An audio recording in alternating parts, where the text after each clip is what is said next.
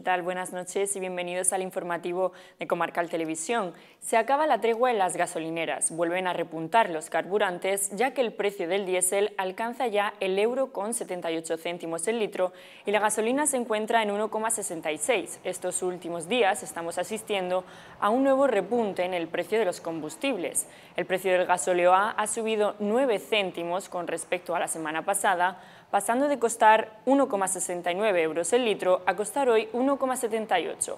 El precio de la gasolina, por su parte, también ha subido 5 céntimos, un repunte que ya se está notando en las gasolineras y que se espera que siga subiendo en los próximos días.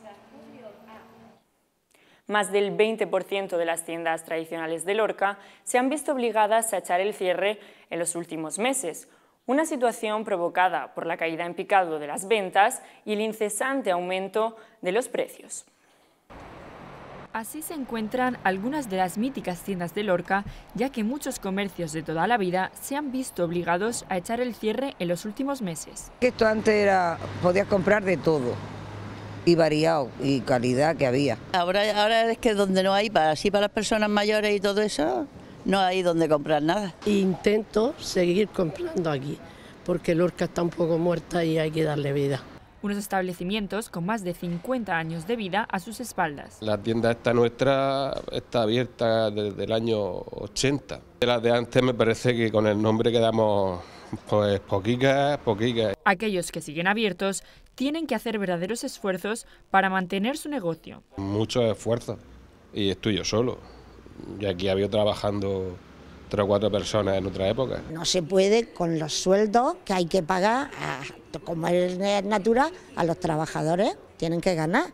Una situación provocada por un cúmulo de factores y que preocupa especialmente a lorquinos y comerciantes. Ahora mismo es todo subir, todo subir, todo subir. Y está todo carísimo. Hay un cúmulo de cosas, de luz, de, de todo. Mucho miedo, poco dinero, poca ayuda. El pequeño comercio no puede competir con los precios de las grandes cadenas. Unos comercios que llenaban de vida las calles de Lorca y a los que ahora les toca apretarse el cinturón para mantener sus puertas abiertas.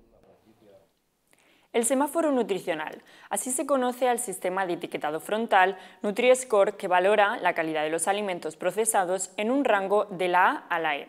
Un método que pretende facilitar a los usuarios una información nutricional más clara de los productos para que de esta forma puedan optar por la opción más saludable de un solo vistazo.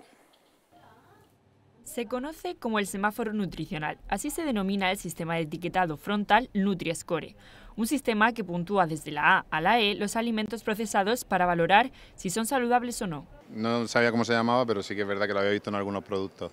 Claro, lo clasifican y si está mejor. Mejor que venga eso que no venga nada. Si aparece en verde y pone que es bueno, pues me lo creo. Clasifica los alimentos en un rango de la A a la E, teniendo en cuenta que la A son alimentos de muy buena calidad o que se supone que deben de consumirse habitualmente, y la E, alimentos que están un poco demonificados por su composición y que no se deben de consumir tan frecuentemente. Una etiqueta que se encuentra en productos como la leche, cereales o galletas y cuyo objetivo es facilitar a los consumidores una información nutricional más clara sobre productos procesados a la hora de hacer la compra. Voy cogiendo cosas y voy echando. Sí, normalmente me fijo.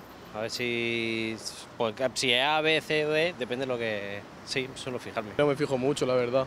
Yo que soy estudiante sobre todo, suelo comprar así cosillas baratas y económicas. No juzga los alimentos por su buena calidad, sino solo por sus componentes muy simplistas como puede ser eh, alta energía, alto en grasa o en azúcares, sin mirar eh, de dónde proviene cada uno, si son azúcares propios del alimento o si son azúcares añadidos. El problema surge en la clasificación intermedia, donde jugar con los porcentajes de nutrientes positivos puede favorecer un mejor etiquetado. Es un sistema que de cara al consumidor pues le puede servir para sobre todo centrarse en los productos de, de, calidad. Son de productos procesados, no productos reales, como por ejemplo puede ser una carne, una verdura o una fruta, sino productos que ya han sido eh, procesados. Se basa tanto en energía como en azúcares como en sal y dependiendo del contenido de cada uno se da un valor u otro. Solo compara productos dentro de una misma categoría, lo que puede resultar algo confuso. Y hay cuatro paquetes de galletas y en una vez que es de mejor calidad pues te va a la, a más sana. Por lo menos yo alguna vez sí que lo lo he hecho así. No se trata de un sistema obligatorio, ya que las marcas lo aplican en sus productos de forma voluntaria.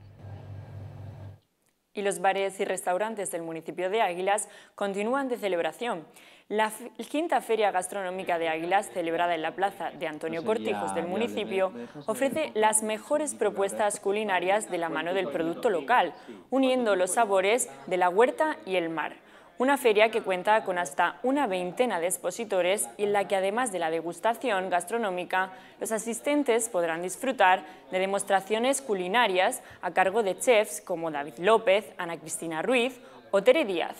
También habrá exhibiciones de coctelería, música en directo, actividades infantiles, exposiciones y muestras de artesanía. Eh, Además, Saborea Águilas llenará las calles del municipio con los mejores tapas para que todos los asistentes puedan disfrutar de la feria durante el fin de semana. Mm. La red de bibliotecas de Lorca ha recibido una donación de 28 ejemplares de la obra poética tradicional Juanillo, el del Cabezo, Negocios que me han pasado y algunas cosuchas más se trata de una obra literaria escrita por Pedro Ruiz Fortes de parte de don Manuel Andújar en representación de la familia. Además, se trata de una importante obra de literatura local tradicional, ya que está escrita en panocho, el antiguo dialecto hablado en el municipio de Lorca. Una donación que persigue dar a conocer entre las nuevas generaciones del municipio las costumbres y el habla popular de la Ciudad del Sol.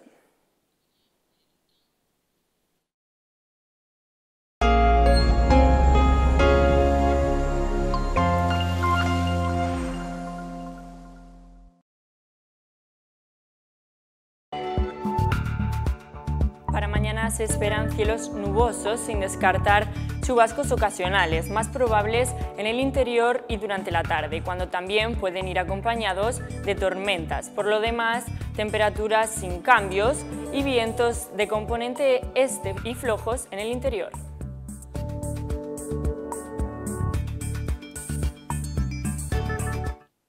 Lo dejamos aquí, más noticias mañana en el informativo con José Ángel Ayala. Que pasen una buena noche, adiós.